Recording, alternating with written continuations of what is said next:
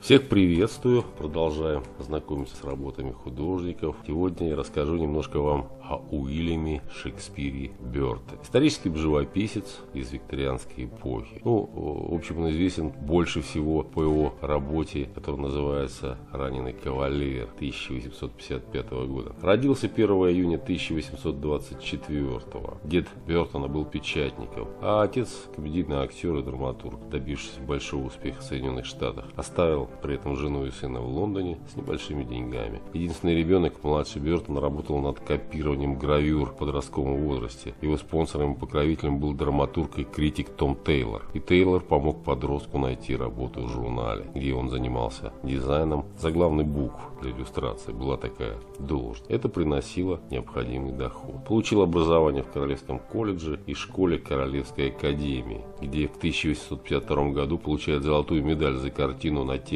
Самсона и Далилы. Говорят, что для написания своей самой известной работы «Раненый кавалер» она действительно ну, хорошая.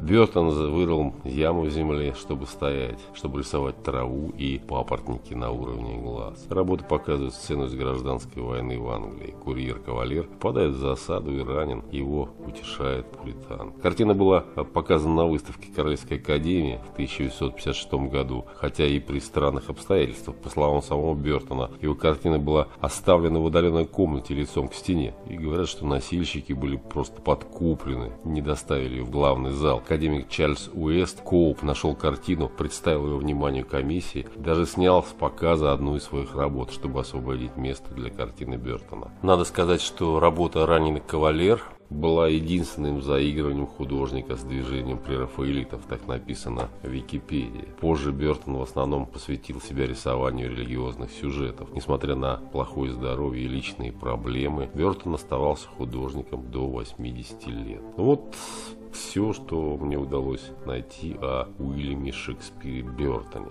историческом живописце из викторианской эпохи. Пока-пока, до свидания. Смотрим картины. Пока.